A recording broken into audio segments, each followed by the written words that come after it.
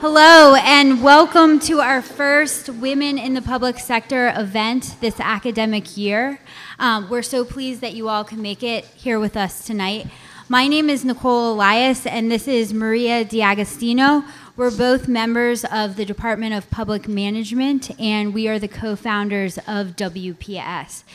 So last year, Maria and I really started thinking about um, our shared research interests. We were thinking about conversations that we had in student with students, discussions in class, and we realized this need for a more concerted effort to focus on women in the public sector.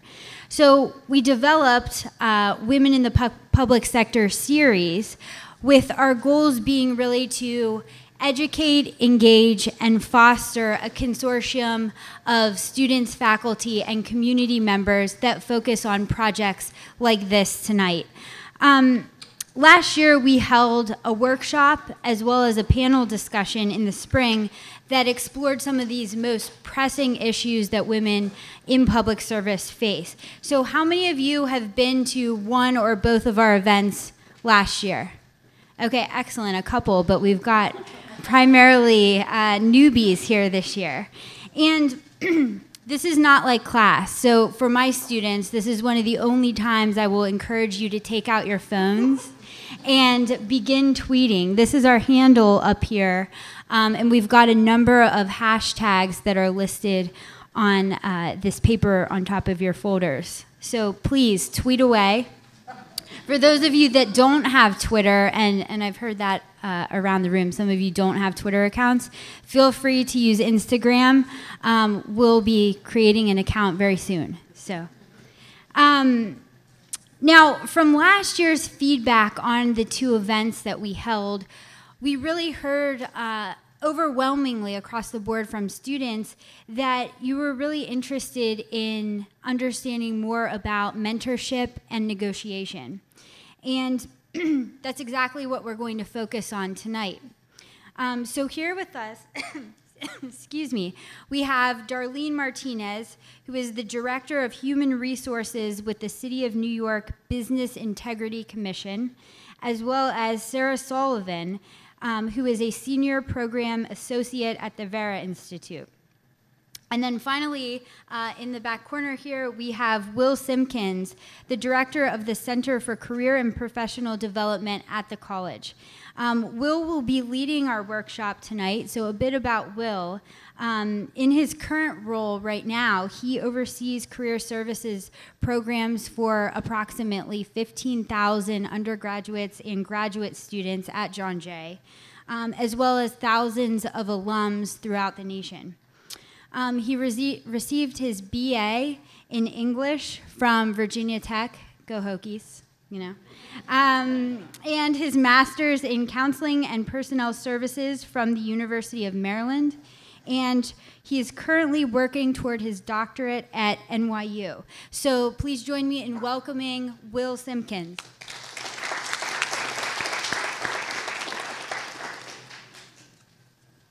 So Professor Ellis and I went to the same school, and I've already done the fight chant, um, and I won't do it again because I feel like I'd probably just embarrass myself more than anything. Um, so I want to acknowledge the sort of elephant in the room.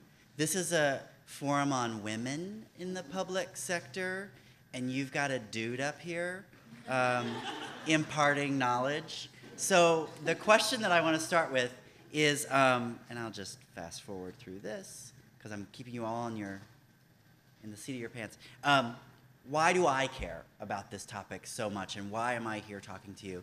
Um, early in my career, I worked at a um, private elite women's college here in New York City, and for about 10 years, I worked specifically with young women who were interested in careers in public service, whether that was nonprofits or in government agencies um, or doing good things in the corporate uh, world, because that does happen sometimes.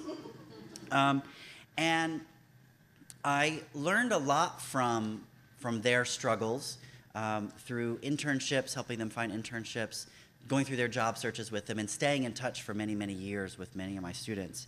Um, At the same time, one year, uh, we had a guest speaker at the college, a woman named Peggy McIntosh. Has anybody ever heard of Peggy McIntosh? Okay, I'm going to welcome you to her world. Um, Peggy McIntosh is a scholar at Wellesley College, and she wrote an article called, this is the one everybody knows her for, Unpacking the Invisible Knapsack of White Privilege. Um, and it was sort of a groundbreaking article. It listed 150 privileges that I, as a white person, have that people of color don't. Um, and, and it's all over the internet, so if you want to read it, Google it and find it. She also wrote an article called Feeling Like a Fraud.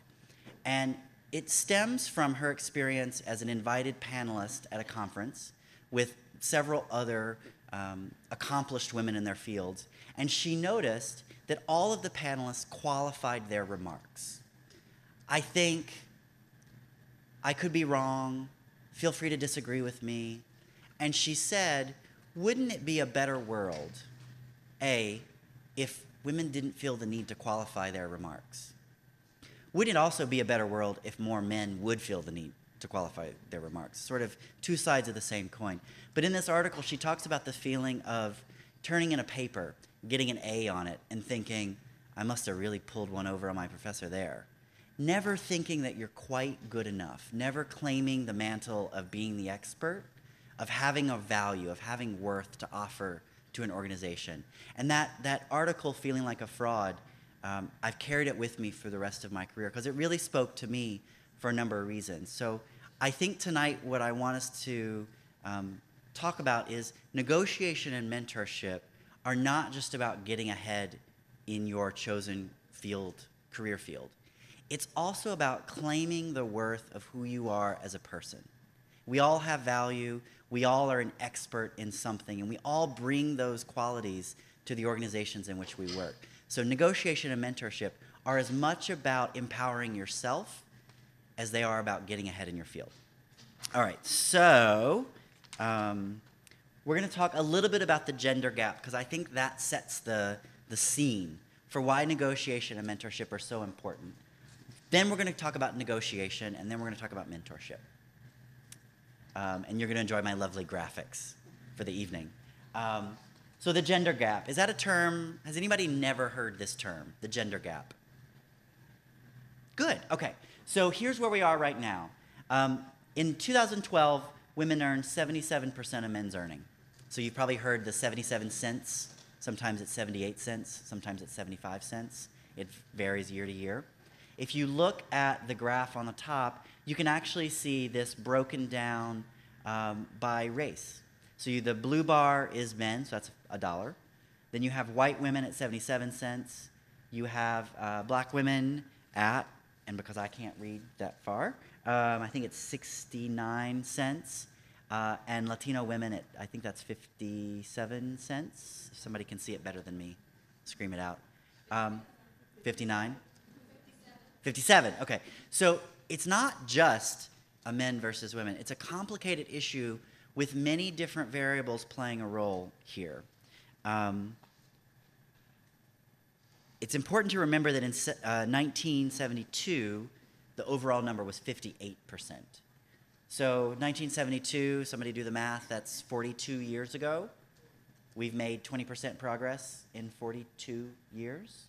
And there's a lot of research right now that shows that the, the gender gap is not going away. If we continue on the same trajectory that we are right now, it may close by 2075. That's a long time. None of us will be working in 2075. I may be alive then. I'm not sure. I'd be old at that point. Um, in New York State, it's actually 86%, so not quite as bad as the national average. Um, there's a report from the Bureau of Labor Statistics um, that uh, we can send out the link later to, or tweet it out, um, that actually details all 50 states in the District of Columbia and plots out where they are along this continuum. And in some states, I believe West Virginia is actually the worst, West Virginia is still hovering around that 57% number, right? Um, so the, uh, the other thing to remember is that the gap narrows in times of economic distress when the economy is constricting, and it widens in boom times. Why is that? because bonuses predominantly go to men. Men overpower women in numbers in fields where you're likely to find a bonus structure finance, consulting, corporate law. Um, so a lot of people say, well, you know, that's all well and good, but it's really the choices that women make that limit their opportunity to earn or accomplish what men accomplish in their fields of interest. So, here are some of the choices that, that people talk about. They choose different majors, education versus economics. They choose different occupations, social work, well, we're just going to stick with this, versus economics, versus finance, right? Women tend to work fewer hours, even when they work full time. So the difference of a 35 hour full time work week and an 80 hour full time work week. Women are more likely to leave the workforce or work part time after they have children. So all of this can account for some of the variation. But in 2012, the American Association of University Women put out a report called Graduating to a Pay Gap that looked at what creates this gap for, for recent college graduates. They statistically accounted for all of these differences and still found a 7% difference in the earnings of men and women one year after graduation, with no explanation other than gender. So I think the answer of do women's choices matter is yes and no. Everything is local, right? So when, if, when you're experiencing the gender gap, there are a number of factors that will play a role in how your career takes off over a 40, 50 year span. Um, but sometimes there are things that are out of your control. So I just wanted to talk a little bit about what we know about women in the workforce right now. So labor force participation, 57% of working age women are working versus 69, almost 70% of men. So there are less women in the workforce. If you look at the percentage of mothers, so the, the red are um, women who have children under the age of 18 or at age 18, 69.9% of mothers are working. That's the overall number. 74.7, uh, so 75%, I believe that says 12 years of age. And the next one is six years of age. So mothers are working. So this can't explain the entire reason that there's a gender gap. Um, look at the full time numbers in 2013 74% of women worked full time, while 87% of men worked full time. This is a big one. How many of you in the room are interested in working for a federal agency? So there's a great um, article that I'll fish out in a minute that did, did a study and said from 2000 to 2012, this was in the Washington Post, the percentage of federal of women hired to federal jobs jo- dropped 6% from 43% to 37%. Now, this Washington Post article had a hypothesis about why this is. Does anybody have a guess? Around the same time, the federal government created a veterans hiring initiative. So, federal agencies were given, in some cases, quotas, in some cases, were policies were changed to elevate veterans to the top of the list. Who are veterans? Predominantly, veterans are men, right? So it's the unintended outcomes of policy. And I am not a public administration faculty member. Well, I sort of am, adjunct, but I am not from a public administration background. So many of you can probably explain this theory of how policies impact changes, especially in the workplace. In the world of finance, women make 66% of male counterparts' salaries. And there's a study that we're going to talk about in a minute that found a 7.6% difference in uh, one year out MBA salaries. So students who had graduated with a graduate degree in business, one year out, what were their salaries? And mothers earn 7 to 14% less over a lifetime than women without children. So it creates sort of a bleak picture for what women leaving college are walking into.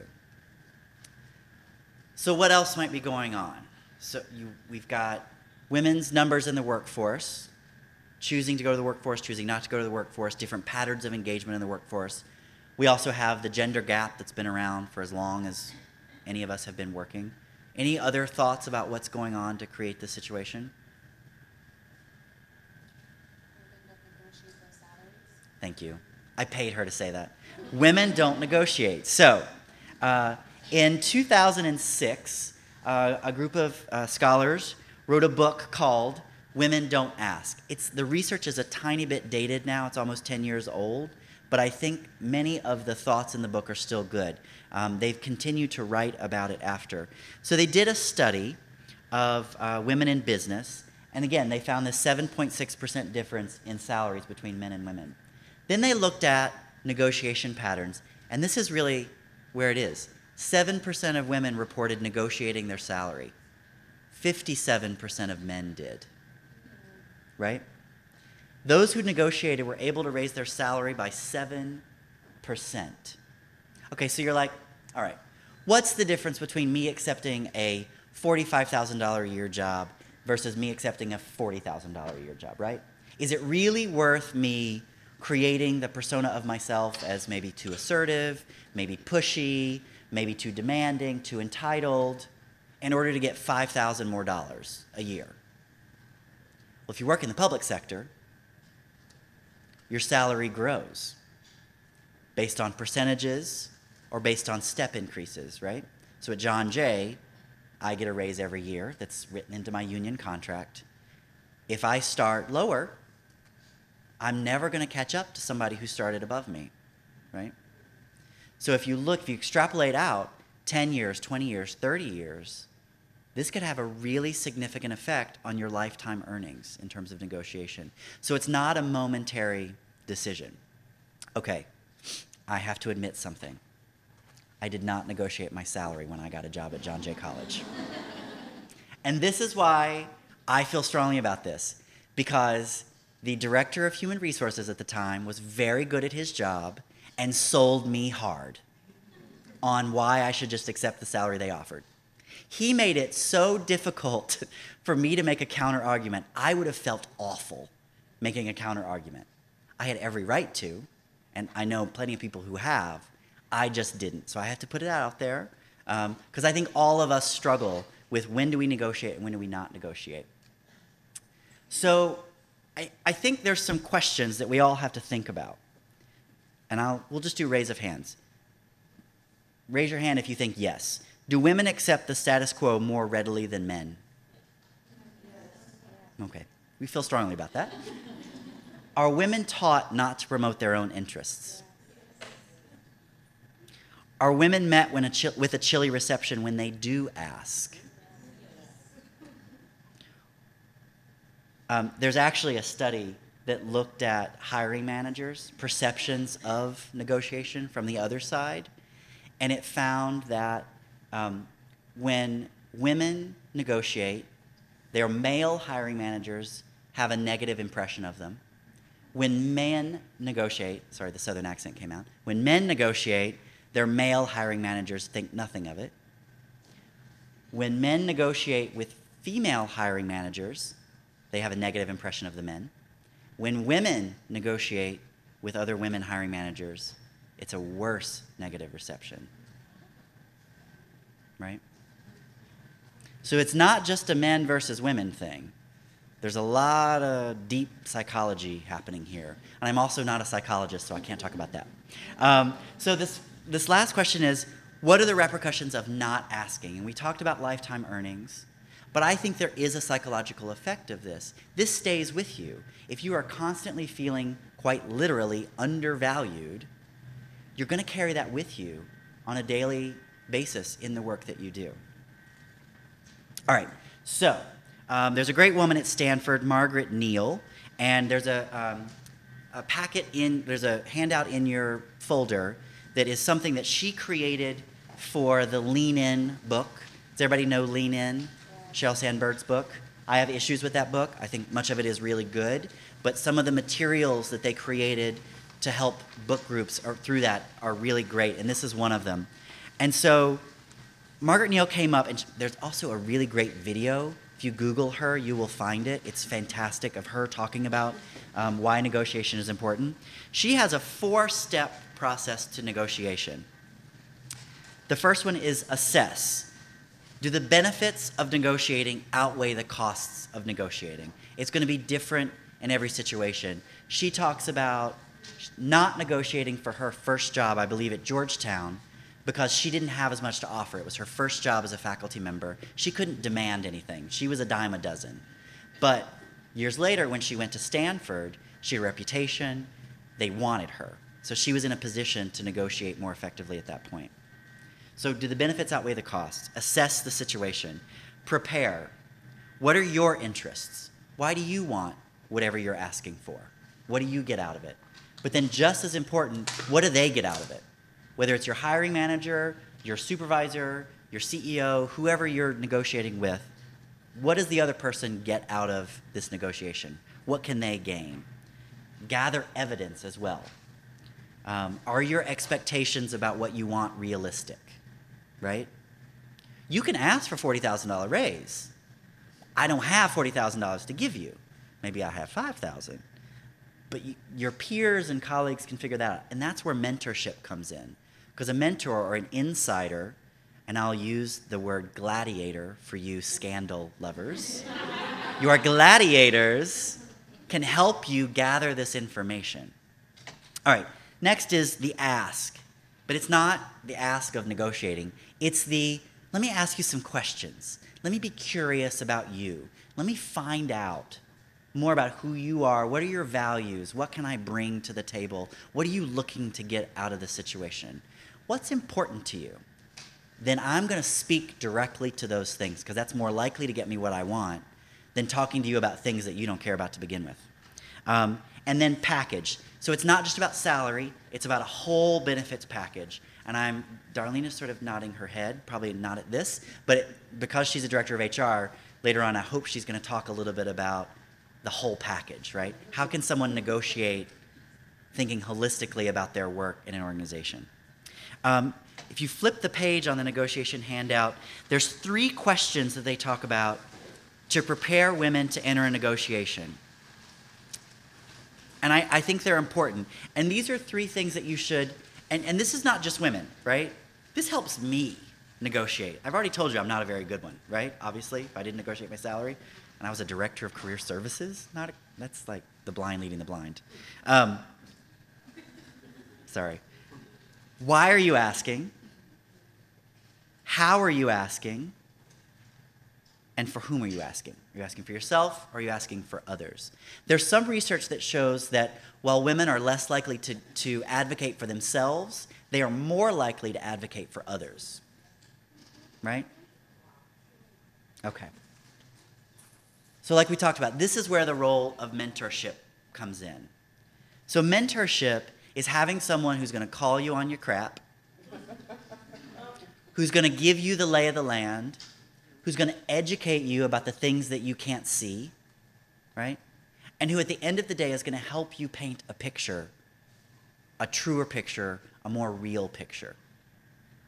How many of you in the room right now feel like you have a mentor? Okay? How many of you feel like you are a mentor to someone else? How many of you feel like when I actually start talking about what mentorship is, you probably have one or are one, you just don't like to call it that? Thanks, Kim. Good. Okay, so um, mentorship. So, mentorship relationship, you know, we have these images in our head of like the big brothers, big sisters type of mentorship, or a really concrete structured program where people are paired up. But a mentor is really just someone that you can bounce ideas off of on a long term basis. My mentor is my former boss 15, 16 years ago. I maybe talk to her three times a year, um, and that includes the holiday card that I get at some point. But it's I know that I can always call her if I'm in a sticky situation and need some help, right? So mentorship is about cultivating a relationship, and that involves a lot of asking. Mentors don't have to be above you in the hierarchy, they could be beside you, they could be below you. As a supervisor, I have learned a tremendous amount from the people that work for me. They've helped me understand how to be a better professional in my area, and I think that's really critical. But the important thing to remember is always is a two-way street. What are you offering your mentor? What are they offering you? All right, I'm getting the cut the time, and luckily we're at the end of my presentation. So um, I want to encourage you to tweet questions or ask questions, but I'm going to ask our panelists to come to the super formal panelists table.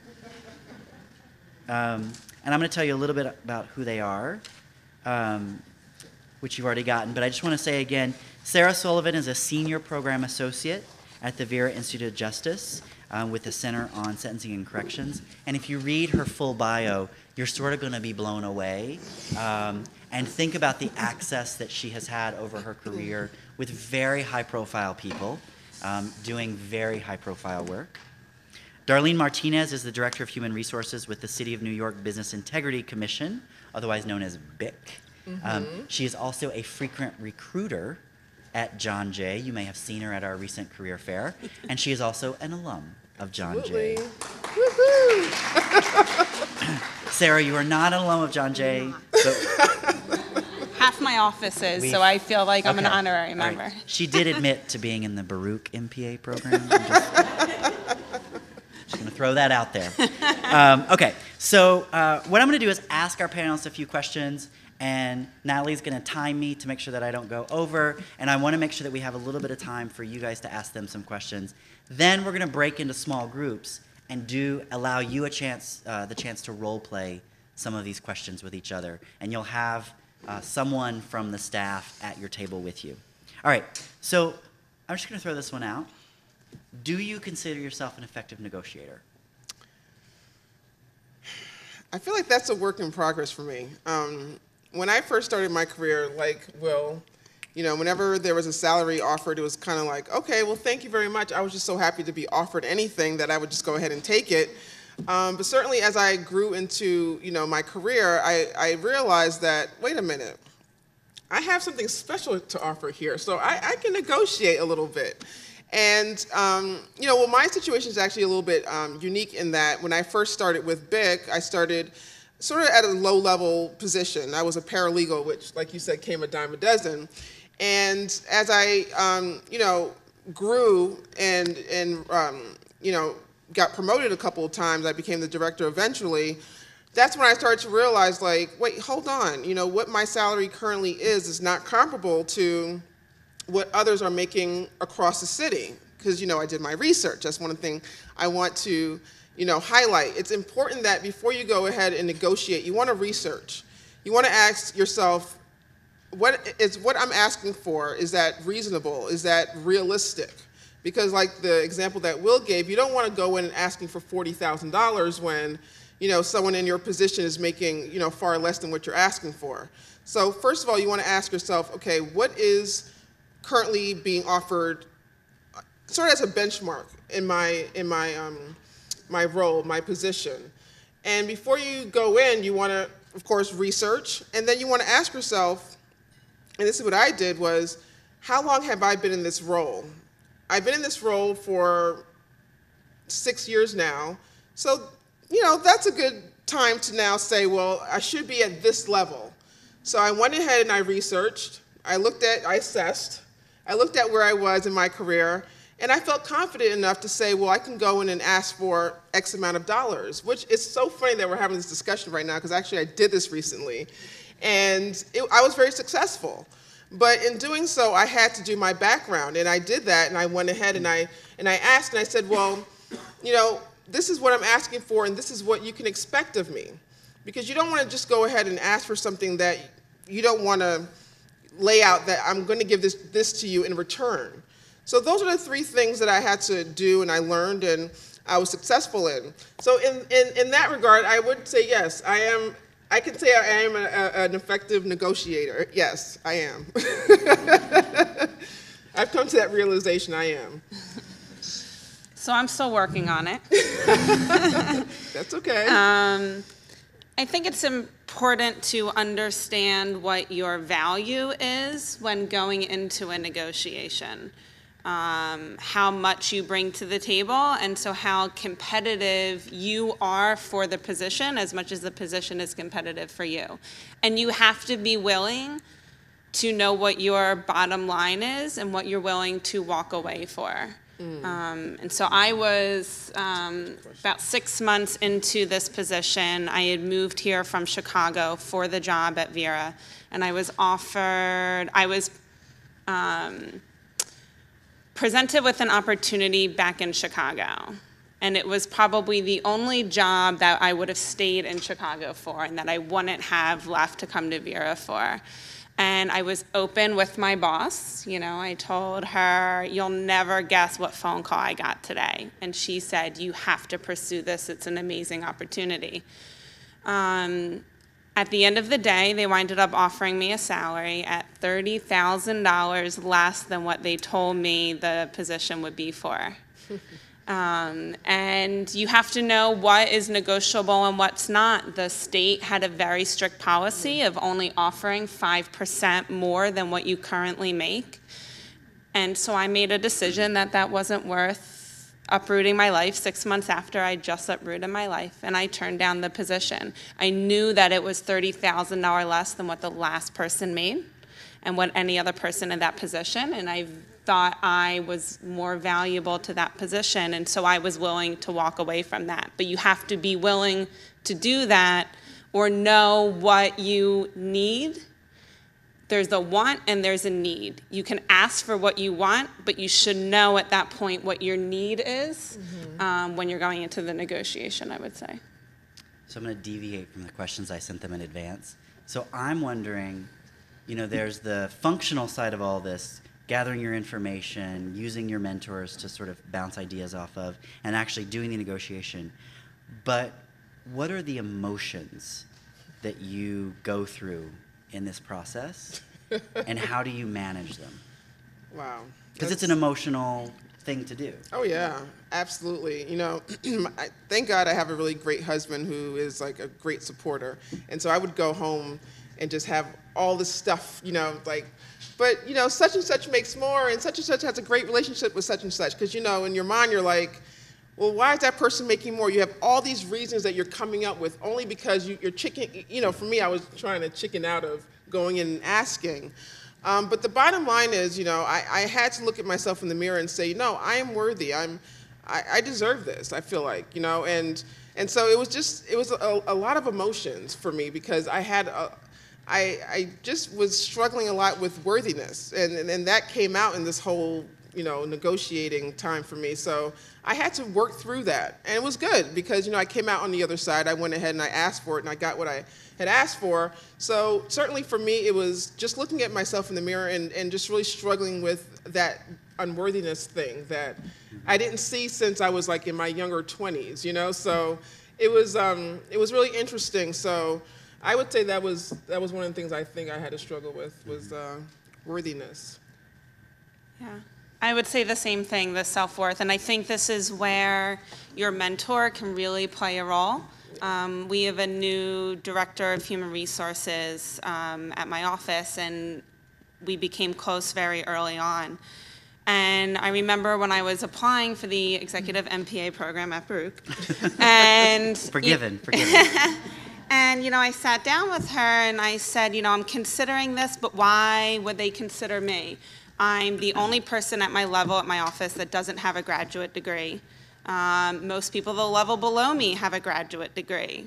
And they have a graduate degree from Harvard and Yale and Princeton, and I have a bachelor's degree from a state school, right? Um, and she said, do you realize what you did last week? And I said, What are you talking about? She goes, You just went and presented at an international conference in front of corrections professionals and police chiefs on a certain topic. She's like, You present at conferences all the time like it's no big deal. That's a huge deal. I don't think you realize how, how big of a role you have and how impressive it is. And man, was she right. I mean, I walked into the first interview with the head of the program. I sat down, maybe said hello and one other word, and he said, I love your experience. I love what you've done. What do you need to know about the program? He walked in ready to sell me on the program when I was walking in thinking I needed to sell myself. Yeah. And I, so she was right. Um, and so I think other people, especially mentors, can help you really have clarity on your self value and your self worth when we, especially as women, tend to doubt ourselves all the time. That's good. So um, that's a good segue into this topic of mentorship, and I'm going to deviate yet again. So, do you consider yourself someone with a small number of very potent mentors, one, two, three, or someone who seeks out the appropriate mentors at the right time in the right place, and you could have 30 of them in your Rolodex that you can sort of call on when you need them? Hmm. I, I mean, I've been fortunate to really um, just have the potent. I, sometimes when you have too many, it's like you know, it's hard to manage too because you you want to maintain those relationships, but. I have a good solid three, and, I, and, and in fact, it is growing. I'm always open. I mean, hopefully, I'll find a mentor in you, and you can find one in me. Um, I'm always open to learning from people, um, particularly those who are um, higher than me in terms of their education and their career. So um, the, the, the core three that I have have been those who, for one, um, hired me in my current role, well, in my current job anyway. Um, secondly, the one who um, promoted me to my current role. And thirdly, it was actually by chance that I met this person. Um, she and I were doing um, sort of what we're doing tonight, um, and we kept in contact, and she's been my mentor ever since. So these are the three people who I go to um, and bounce ideas off of occasionally, and also if I need to vent, because you know within um, you know, human resources, you, there's so many things that you see that you that can affect you as a person that you need to just speak to someone who understands. You know, if you go home and talk to your husband, he doesn't really understand exactly why that bothers you so much. But if you have someone who actually um, is in the role that you're in, who could understand the stresses of the work, um, so it's it's important to have that outlet for sure. But um, yeah, I would say I have a core three, but it's it's growing. I'm I'm open to adding on more. I would say the same. I have probably a core two or three that I've kind of picked up along the way. And I've actually found that my mentors have kind of found me as their mentees more than I found them as my mentors in the beginning when the relationship was developed. They really kind of latched onto me as someone that they saw having. Um, a good potential future and wanted to help foster that and kind of impart their wisdom on me. Um, you know, when I you know, when I was applying for different jobs and I was applying for a fellowship and I felt bad going back to the same people asking for advice. I felt bad going back to the same people asking for yet another recommendation. Mm-hmm. And um, one of my mentors introduced me to this concept of um, when you are campaigning and when you are fundraising for campaigning, and how one of the strategies that they use is actually something you can apply in this life. And that is that when people are looking for a donor, what's the first people, that, who are the first people they go back to? Previous donors right? When somebody has already contributed to your success, they are now vested into your success and want to see you continue to succeed. So don't ever feel bad if you only have two or three to keep going back to them because they're just as much invested in you because they've put time and work and energy into you as, as your mentor. Okay, so the last question I'm going to ask, and then I think we have some time for a few from the audience, is we've talked about the we've talked about negotiation, we've talked about mentorship, and where the two meet. Hmm. How is this distinctive in the public sector? Versus any other industry, banking, law? So I think there's a few things. One, I think that the limitations that um, either a public agency or a nonprofit organization has is much more rigid than a for-profit um, company may have. It's interesting. I found when I was look, when I was planning on negotiating for my current job, I was shocked that I went to someone that I don't consider a mentor. I went to a man who is in the for-profit sector because I knew he had effectively negotiated before. And for some reason, I didn't go to my mentors, who are all mostly women. I just realized that while sitting here.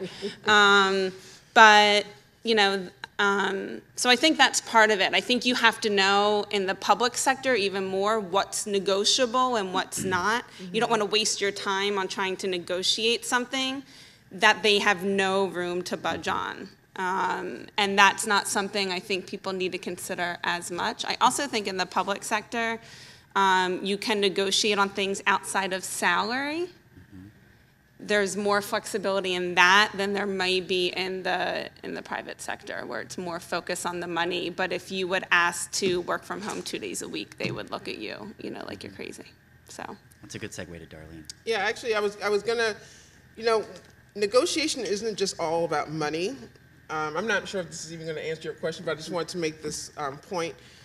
You can negotiate anything. Yeah, You know, for me, it was a couple of things. Well, at the time when my son was, when I just had my son, working from home was something that I really needed at the time, and so I was able to negotiate that as well as, you know, an agency vehicle. Um, you know, a BlackBerry, an iPad, you know, different things that would help me do my job effectively um, that, you know, ordinarily any other employee probably wouldn't have access to. And these are all things that were actually granted. But, you know, negotiation isn't just, you know, asking for a salary bump. It can also be um, asking for additional responsibilities. And so that can assist you in catapulting your career down the road. Even if you're not going to see the money, at least you have now the experience um, to down the road say, well, I was able to handle this and I, and I effectively worked with this unit and I actually handled this project. And that will help you in the long run in becoming um, um, qualified for a position down the road. So you can negotiate, you know, additional responsibilities. You can also negotiate um, a more senior um, title. Even if you're not given additional responsibilities, you can now ask for a senior title if you've been in a role longer than three years. You know, I had this one dy- dynamite, dynamite, fantastic employee who was in um, a unit that didn't really utilize her, her talents and her skills. And she would always come into my office and she would be frustrated, she would cry, you know. I was always that shoulder for her to cry on. And she came in and she said, you know, I, I'm really at the end of my rope here. I feel like I'm dying. And that really hurt me to hear her say that. And she said, you know, I feel like, because she was just doing like administrative type work, and this was like a really bright girl. And I said, you know, why don't we see what we can do? I don't want to, you know, I didn't want to lose her. So there was, thankfully, there was an opening in another unit that would allow her to do more substantive work. So she was doing sort of like background checks and like small type investigations. Well, she did that so well that she, the assistant commissioner took notice and actually gave her more responsibility. And at that time, we started to um, hire new employees in that unit, and she became sort of like a mentor, a supervisor to those people, like, you know, unofficially. And within a year's time, she's now the assistant director of that unit. And um, actually, today I spoke with her assistant commissioner. We're going to bump her up to um, deputy director. So, you know, that was like, you know, one of the things. And, and going back, I mean, I'm scatterbrained right now because I'm thinking about all these things with this one person. But, you know, with a mentor, you also want someone who's going to advocate for you. Mm-hmm. You know, and I, and I love your point. You know, don't be afraid. Like, don't you're not going to out, uh, you know, wear your welcome. If someone believes in you, if they love you, if they if they look at you and see something there, they'll push for you. They'll work for you. They'll advocate for you, like I did with this young woman. Um, I, I, said to the assistant commissioner, listen, there's this great girl. She works down the hall. You probably don't even notice her because she's stuck behind a desk filing paperwork. But take a chance on her and, and see what's there. And, and look at her now. She's the deputy director of this unit. So you know, it's important to find a mentor who, not just so that you can go to them and ask for a letter of recommendation or someone who you can, uh, you know, have lunch with occasionally, but someone who you know truly believes in you. And that's so powerful and that's so important. And, I, and, and I'm lucky to even have that, someone who believed in me enough to push me to where I am today. Um, and, and those relationships are fostered through, you know, not just calling. Don't just badger someone. You know what I mean? Don't you know, but it's just asking, like, really think about questions that you want that person to answer and have thought provoking questions. And, and, and even if it's just five minutes of their time, you know, ask a question and, and, and get that question answered. And, and they'll look at you and say, you know what, that was actually really good. You're not just, you know, someone says, hey, you have five minutes and you're just wasting their time. But, you know, make sure that when you are um, seeking out a mentor, you're, you're really utilizing their time effectively. Okay, so we're going to push ahead. Um, I'm going to underline two things to, to add to what Darlene just said. Um, but two of my rules are the first one don't stop at no the first time. Um, I see a lot of folks making that mistake. They hear no and they just shut down. Um, an effective negotiator says, well, let me step back a second and what about this? What about this? That's the negotiation piece versus just asking for something. Um, and the second one is this, this quote What would I need to do? So I want a new title. You can't, I can't give it to you right now. What would I need to do over the next six months so that when we have this conversation again, you'd be in a better position to give me an affirmative answer? And I think that'll help you plan that negotiation is not just 30 minutes in an office, it might take six months uh, to get where you want to go.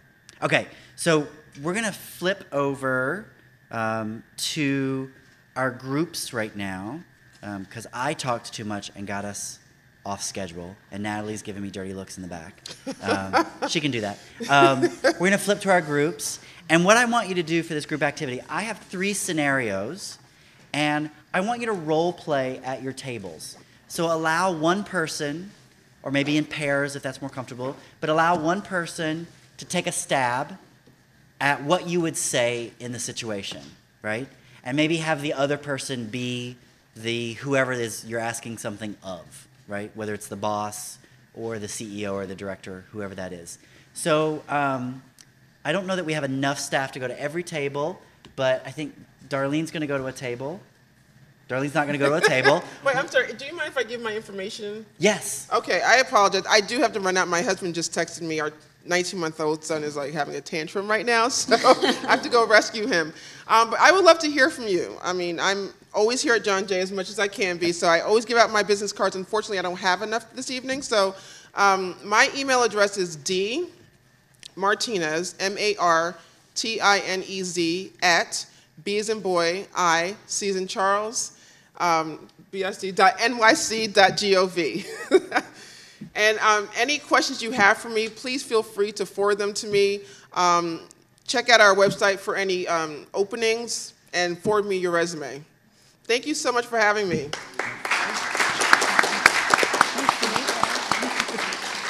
And, And- Sara has to go catch a flight. Yes, I have to head to an all-day meeting in DC tomorrow. I apologize. Um, I can give you my contact information as well. So my email address is s sullivan, so s s u l l i v a n at vera v e r a dot org o r g.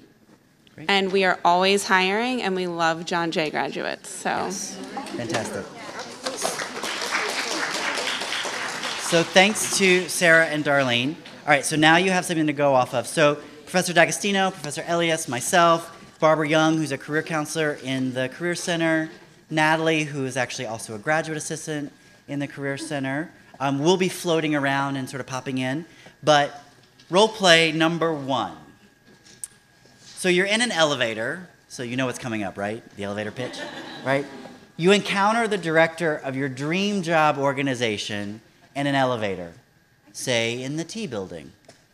You have 30 seconds. What do you say so that she'll remember you? So I'm going to do maybe about four or five minutes. If you give a couple people a chance to try it out, and give the folks feedback. So everybody else at the table, give feedback to the person who goes. Go. For a couple people to go at your table. You've had time? All right. Right. So this table is sharing like all their truths right now. I'm loving it. I'm loving it. Um, so this is sort of a soft liftoff of this conversation, right? So this is my mean career development director hat on right now.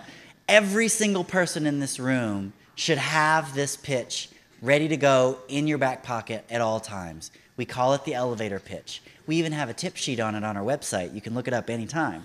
Um, it's like a 30 second, this is who I am, this is what I know about you, this is what I need from you. And that's it, right? And then always have a business card. And my other shameless dirty secret is I never have business cards. I'm so bad at it. Um, all right, so it's round number two. We're going to do the same process again. All right, you're an employee. Your child's school play, which are very important, is the same day as a major work event.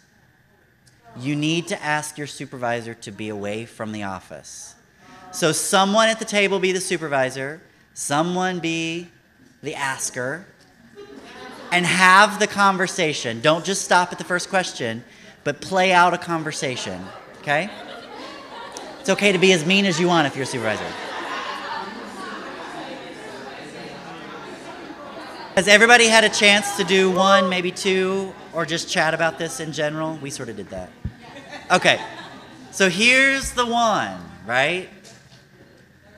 You've just been offered a position as a program manager at a medium sized nonprofit in New York City. You were hoping to make 60,000, but the offer is for 50. You have concerns about making this work given childcare and commuting costs, the pressures that you're feeling financially with this. So, you've gotten the offer. You've got to, let's assume you're calling them back. Because, like good folks, you probably asked for a few days to think about the offer when they first called. Please tell me you are. Thank you. Right? All right, so you're calling them. We have a question. Uh, let's assume. Oh, that's a good question. Let's assume you're making 48 right now. We got another question.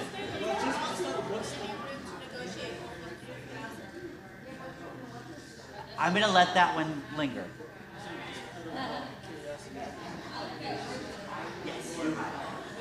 And this is a new hire. You do not work for this organization already.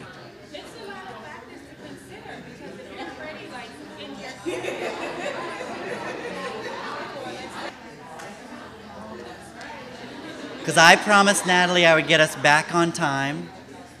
Thank you, Will. I'm almost there. All right, so I am loving the conversation that's going on.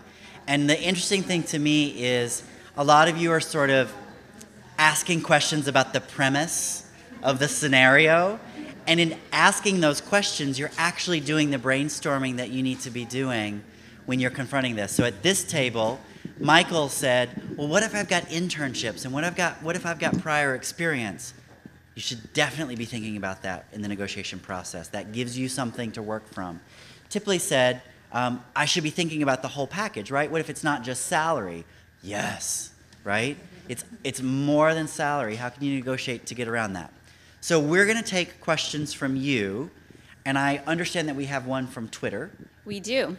So, with all this talk of mentorship, how do you find a mentor? So um, I would normally let the panel do this, but since they're gone, um, so for me, um, mentorship has been about people that I connect with. And so, you know, you're in a meeting with someone, or you're in a class with a professor, you're having coffee, you just connect well, and you you sort of have this experience of I just want to sit and listen to this person. Like I feel like I would learn a lot. I just want to listen to you all the time because you're going to show me something that I didn't know. And so those are the people that then I initiate contact with, right? When I was younger, that was standing outside my boss's door so that every time she left, I was standing there. That can be a little creepy. can be a little creepy, especially when she turned around and said, "Will, I'm going to the bathroom and you can't come with me." um, the other ways that I've done it are, you know, um, if I see that they've accomplished something, I send a quick note. Hey, I just saw this. Congratulations. I'm looking forward to getting together with you and celebrating when we see each other. Boom. Right? So that's the give and take of the, the mentorship. And I find them um, in graduate school. If you, uh, for those of you who are students at John Jay, if you leave John Jay without at least one faculty member who's, who you know would be a reference for you, whether it's a job or a gr- another graduate school application for a PhD or another master's degree, you haven't done your work while you've been here, right? And you have to maintain that relationship because it may be 15 years later when you need that reference and maybe they'll forget about you. Or maybe they've left John Jay and gone to another campus, although why would you? It's so amazing here. But you need to maintain the relationship so for those very reasons. So graduate school is a great opportunity, or undergrad. Internships, supervisors at internships, because they're already signing on to your learning and growth, hopefully. if they're a good internship supervisor, on the job. You know, we will all find supervisors or colleagues that we just enjoy their perspective. Professional associations are a huge way to find mentors because people join these associations to network and meet other people in the same industry. So find out what the organizations are in your field and make sure that you're joining them and participating in what they're doing. Anybody else have thoughts on finding mentors? I do. Um, I do. Our faculty. So do you go? So because this comes up a lot with students, do you actually go up to someone or write them and say, "Hey, can you be my mentor?" Or is that because, or is it something that comes about more naturally? Eh, Right, eh, Because yeah. even in the Sandberg book, you know, she said, "Don't ask someone Yeah. to be your mentor." And so I'm just wondering what your perspective was on that. So I think identifying mentors is a lot like identifying best friends, right? When we were nine, we probably said, Will you be my best friend? right? And then next week it was like, I hate you, and now that's my best friend. Mentorship can be like that. Um, it's probably not appropriate as an adult to just walk up to someone and say, Hey, will you be my mentor? without having any prior knowledge or relationship with them.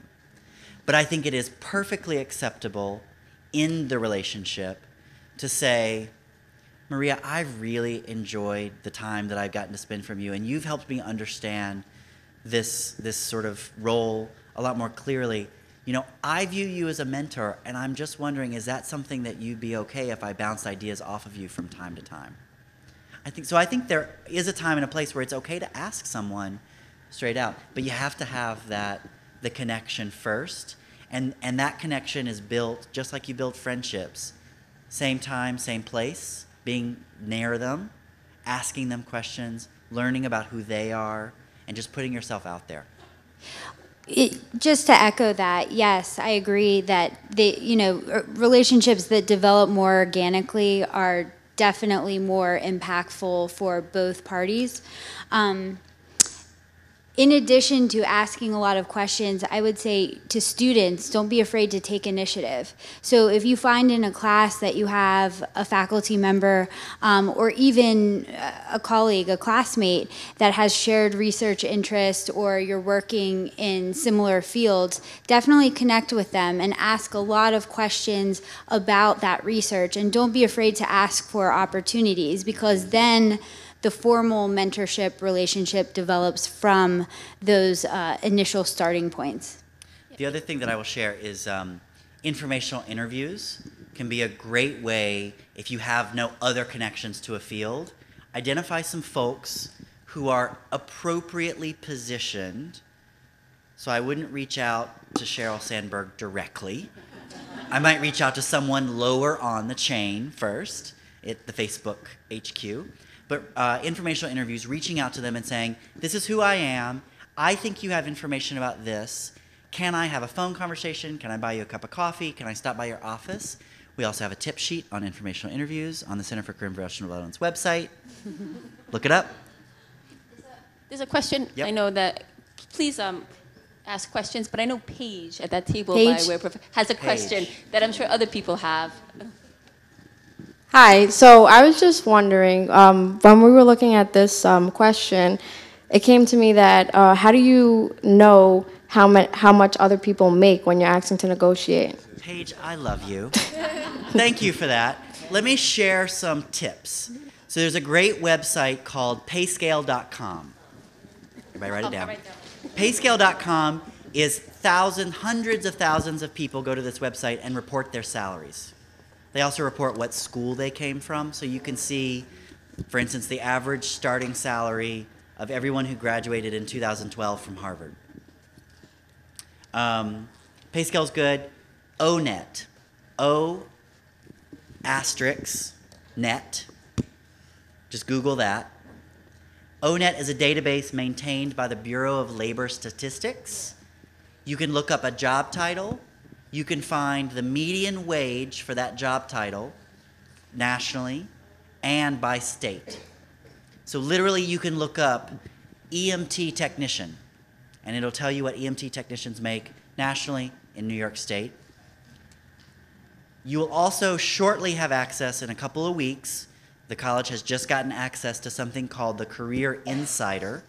Career insight. It's by a company called Vault, and it'll be on John Jay Careers Online in a couple of weeks. We're just finishing the final details. Career Insider has much of the same information as ONET, but you can also look at it's almost like a Yelp review, right? So other people have written up like, I hate this job because, I love this job because. You can actually read what other people say. So those three, if I know nothing about an industry, that's where I start to see what are people making. There's also websites like if you're applying for New York State, there's a website called seethrough.ny.com that you can look up any state employee salary, including mine. And you're all going to look up my salary now. that's fine, it's public information. Um, uh, then, so that's my publicly available information. Then I find informants in the organization or allied, right? So if I want to know what a corporate attorney at Skadden Arps makes, but I don't know anybody at Skadden Arps, I bet that a corporate attorney at Paul Weiss probably has some idea what a corporate attorney at Skadden Arps makes, right?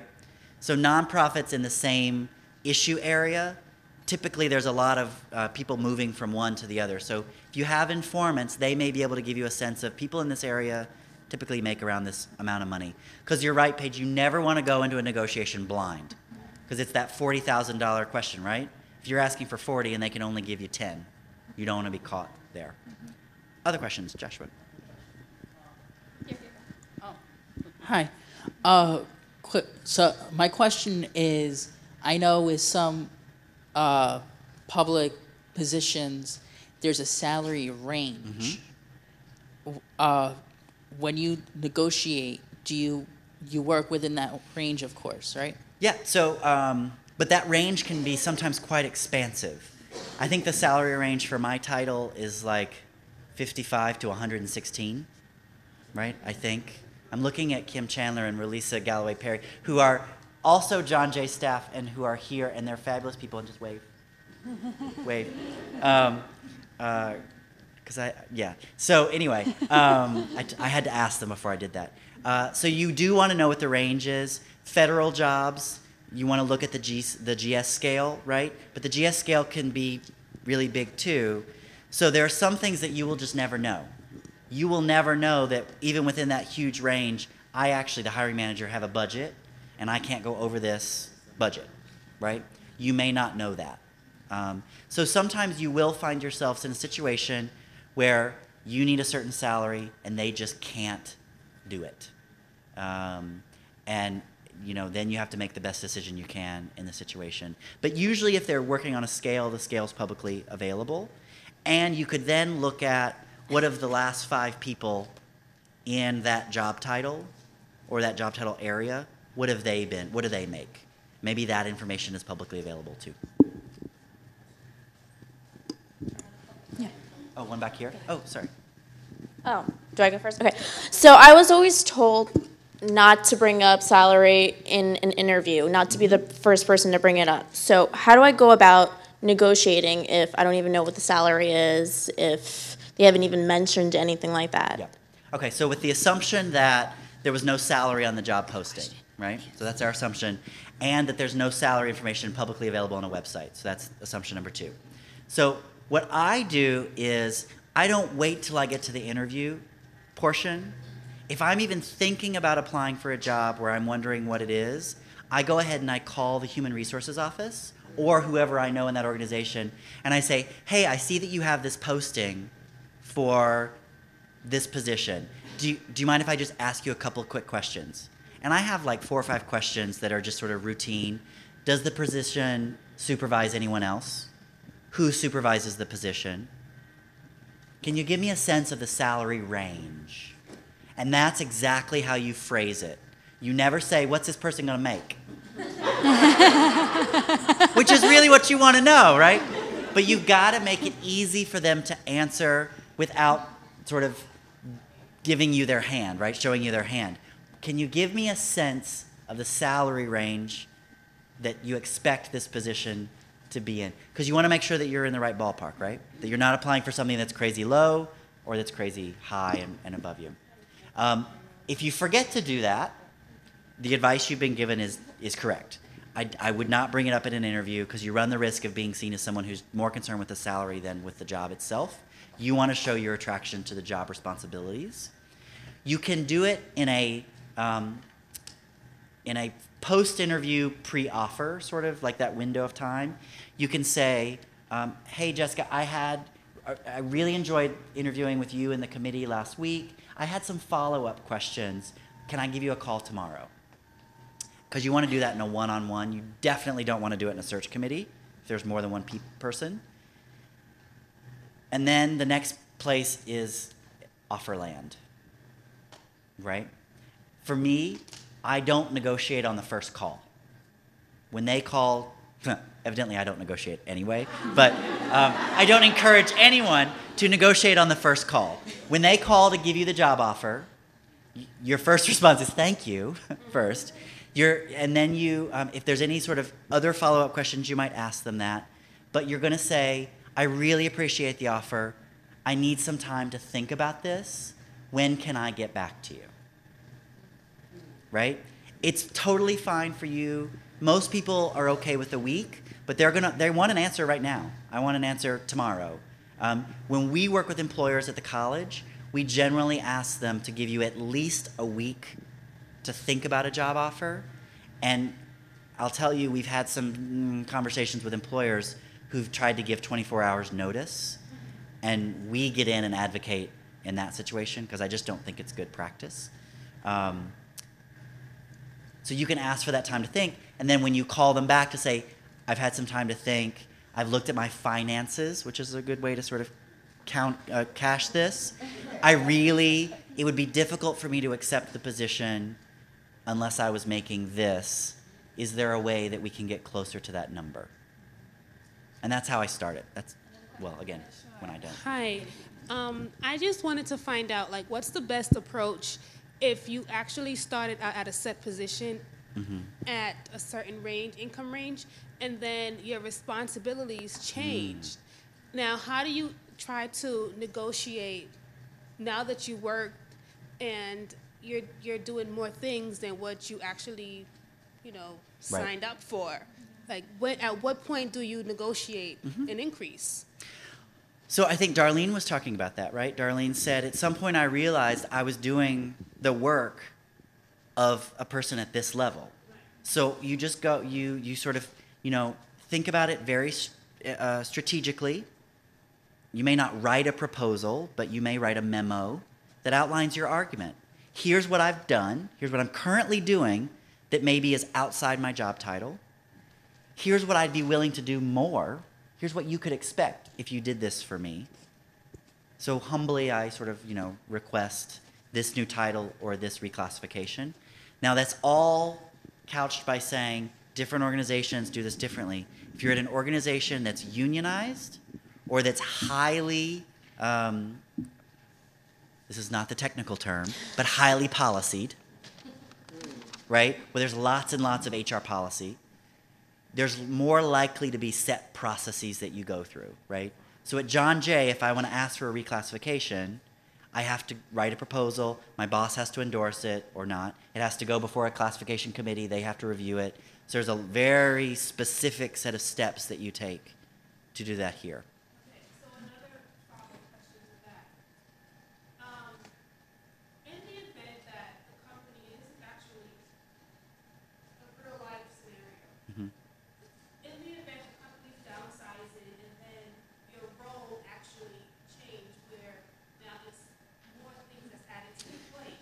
Yep. And of course, the company's downsizing, so you're probably, if you're asking for a raise, you know, like, what is the best time frame, maybe Mhm. six months, a year, to even address that? Because you don't want it to just, because the company's at limbo. Right. just sit there and do it year Right. year. But remember the story I told you about why I didn't feel comfortable negotiating? Because they painted a picture that made it seem like negotiation would be f- futile. That's their job. Right, so that's, that's the position that we're in right now. Yeah. Like, okay, a lot of people are getting cut back because they downsized. Yep. So, right. So sometimes there's this analogy of birds on a wire. And if you ever get really bored and sit around and watch a bunch of birds on a like a, you know, telephone pole or something, you'll notice like one bird will get up and fly away and then come back. And then two or three birds will fly away and come back. Four or five birds will fly away and come back. And then the entire flock will go, right?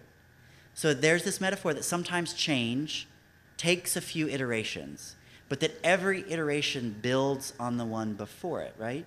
So you may not be successful in ask number one, but ask number one is setting you up for three months later for ask number two, right? Which is setting you up for ask number three. Maybe that's what it takes to get you there. So I don't think I would encourage you to be to shy away from the ask if you feel like I'm doing more work and, and I really think I'm I'm ready for this. I do want you to acknowledge to them, I understand where the organization is right now, and I see what's happening around me. So I understand that having this conversation could seem weird, but here's what I'm willing to do for you. I see you struggling in this area. I can do that for you. Here's what I would need in order to do that. Does that make sense? Okay. Um, er, in, in my last gig, um, uh, my boss got fired. Right? I did one thing really bad and one thing really well. Um, I went the day after and said, obviously, her work, somebody's got to do it. Would you like me to do it? They said yes. And I say that's a good thing because if I hadn't done that, I wouldn't be here because I would never have had that experience, which was a pretty critical piece of my background. What I did bad was I didn't ask for her office. I'm not lying. It was a nice office. It was a corner office, view of Riverside Park. A colleague who was a little junior than I was and didn't have as much responsibility walked to the boss's office and said, Hey, it's empty. Can I have it? Sure. so I go to work and he's moved in next door. I didn't ask, and that's the whole point, right? I saw something I want. I didn't think about, I didn't even think it was a possibility. I, I actually thought they'll go, well, Will's doing the job. He probably deserves that. and I thought I was just waiting for them to like hire some movers to move me down the hall. But no, they're, they're you have to ask for it, right? And so I think it's it's iterations. Do we have time for one more? Last question.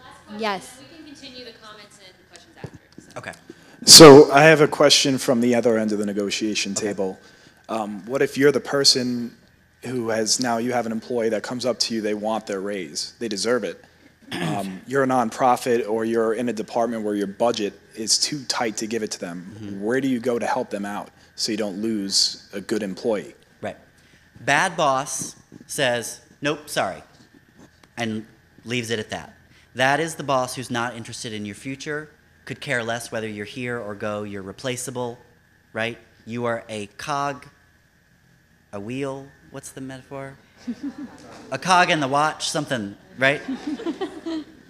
Um, I don't wear a watch. Um, good boss understands why. Why is this important to you right now? And tries to help you think about other solutions, right? Good boss also makes sure that the, um, that the person that they're supervising knows the landscape, right? I actually had to do this recently. And what was important was for me to say, I've called HR, and here's what I now know. There are this many ways that a person in our organization could get a raise. These are the reasons why one and two aren't options.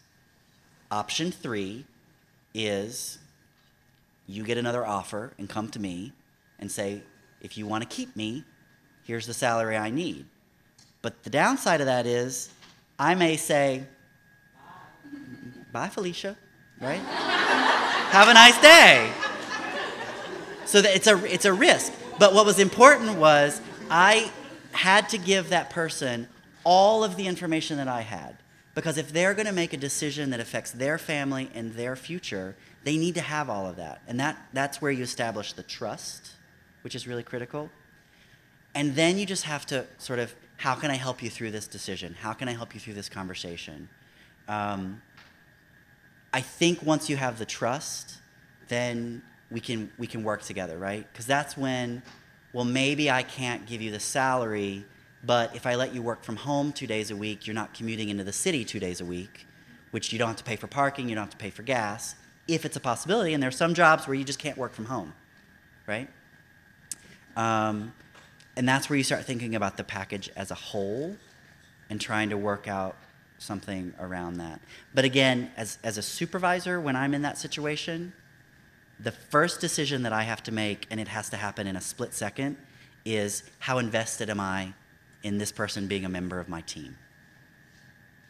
And that's where, flip back to, you're the employee. You want to make sure that you are a valued member of the team and that they want you there, because that puts you in a good bargaining position. Cool? All right. Thank you all so much.